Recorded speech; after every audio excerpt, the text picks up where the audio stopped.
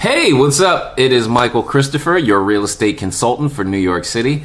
Back at you with another one, and today's video is for those workers that are a part of the gig economy. All the content creators out there, all of the uh, Uber drivers, all of the personal trainers, all of the, you know, everything in between. This video is for you. Now, when you guys are doing something like a room share, let's say. Room shares are pretty easy to, to acquire. But when you're ready to break out on your own and you're finally making some consistent money, now you need to go out and look for your own place. You may have a hard time doing so. Landlords require 40 times the rent. As I've said in another video, that 40 times the rent is not some sort of punishment for you it's actually a really good indicator of what you can afford from a living standpoint. You need to make 40 times the rent. But in addition to making 40 times the rent, you need to be able to show that you make 40 times the rent and preferably in some sort of consistent manner. You have to understand the the arena in which you're playing. There are a lot of regular workers here and when I say regular workers, I don't mean, you know, regular jobs by any stretch of the imagination. What I mean is people that work and go home. And they get a W 2, and that W 2 is consistent every two weeks. So, when you present this to a landlord, your W 2, it's, oh, it's consistent income. I see you make the same $2,000 every week. I see you make the same $5,000 every, every two weeks. I see you make the same whatever every week. But as we all know, as you know, some months are good, some months not so good. There may be some inconsistencies. So, to help you with your quest and make your life a lot easier, here's what you do. I'm not sure how you go about billing people or, you know, how you collect your receivables, but if you haven't already, collect your receivables in some sort of centralized location. Okay, whether that be Stripe, whether that be PayPal, whether that be, you know, if you're invoicing people for work that you've done, uh, maybe that's QuickBooks online or something. But have your receivables in one central location. Why? Because these apps, they are able to spit out something that looks like a pay stub if you're asked for, well, let me see your last two months' pay stubs, those apps can spit out the equivalent of a pay stub and it can show your income and it can present it in a very pay stubbish kind of manner. So that's number one. Number two, you need to understand that you're competing against, how do I say this? You're competing against your regular everyday worker. What makes them appealing, like I've said, is the consistency. So, what you need to do is just make your income look very consistent. A lot of content creators, they do not go the extra step of actually forming a business. Yes, this is me, you know, Michael, the you know the content creator on TikTok, and oh, I just got a brand deal. So you know this company pays me two thousand dollars every month, and you know yeah, that's great. So that's twenty four thousand dollars at the end of the year that I can add to my total annual income. Cool. Before you do all that, if you take this seriously, form a company around what you do. Listen to what I said. Form a company around what you do. Stop thinking of yourself as just a content creator. Think of yourself as an actual business. Now, you're in the business of content creation, but form a company around what you do. Create an LLC, create an S corp, a C corp. What research it and figure out whatever is best for you and then do that. Once you do that, go out open a business bank account. Go to Chase, go to Bank of America, go to TD Bank, whomever, open a business checking account. From that business checking account, you're then going to have your Stripe account, PayPal, QuickBooks, whatever. All of the receivables that you get are going to filter into your business checking account. So, when that happens, you got a few dollars building up, take out a credit card. Get a credit card in your business name, and then from there, put all of your expenses on that credit card, which has your company name on it, not your name. It has your company name on it. So, when you do these things, one, mentally, you'll take your business a lot more seriously.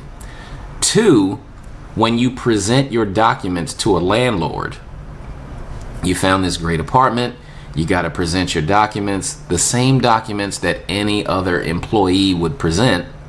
You are now not presenting, oh yeah, I'm a content creator, and here's uh, here's uh, you know, I made two thousand dollars this month, and I made uh, eight hundred dollars last month, and you know, all these different documents. You're presenting official corporate documents to the landlord.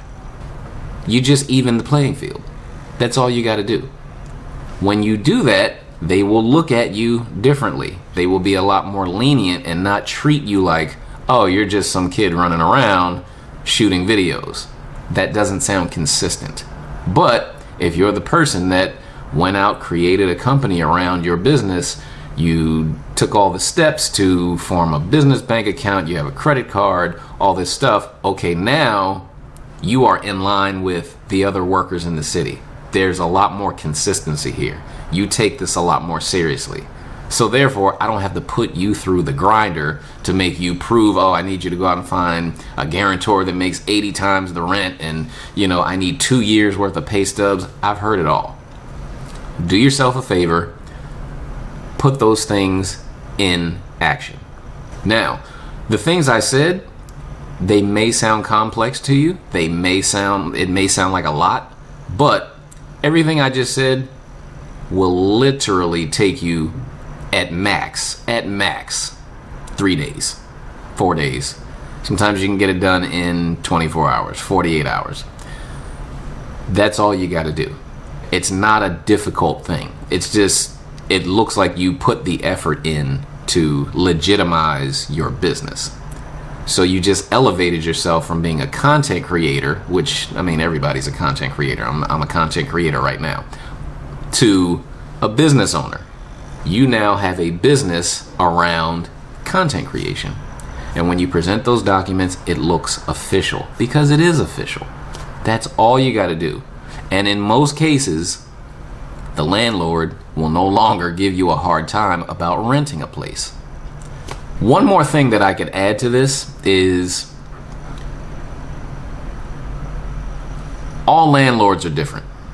So depending on the place that you're looking at, if you are a content creator and all of your content is based around living the New York City fantasy and, you know, my life is so fabulous, if you're one of those people and you're trying to move into, you know, super luxury building on the Upper East Side or, you know, somewhere down in Soho or something, you may have a harder time to go renting a place. But there's a bunch of amazing landlords that exist in New York City that as long as you present those official documents like I instructed you to, you won't have any problem. If you happen to maybe strike out at one building, there's a trillion other buildings similar. Even regular W 2 employees that have the easiest time renting apartments. Even for that population, renting an apartment here is not, you know, it, it's not the easiest thing. It's most people's hardest thing that they have to do here. Just know that. So if you get turned down at one place, it's not a personal thing. It, it, doesn't say anything about you or your character. It's just, okay, that landlord, you know, for whatever reason, didn't work out. There's a trillion other places. Go down the block. Go next door. Okay, I mean, there's a bunch of places available, and yes, some landlords are super lenient. And when my clients come to me uh, that are content creators, I tend to take them to those landlords. Um, and, you know, the approvals are easy and, you know, no fuss. But if you happen to run into a landlord that is giving you a hard time, just go next door. Okay, especially if you're presenting everything, as I told you, in a very official uh, capacity. There's a trillion places. Don't overthink it. You will find a place. So I hope this helps you. I hope you implement what I told you to if you haven't already. And if you ever need any advice, real estate, if you're looking for a place and having trouble, click the link in the description. I am happy to have a conversation with you about finding a place that is, you know, reasonable for you. And yeah, I just really hope that helps. Okay? And leave a comment in the description if you go out and implement that. Okay? I want to know about your progress. All right, so I'll see you in the next video. I'm Michael Christopher, your NYC real estate consultant. Peace.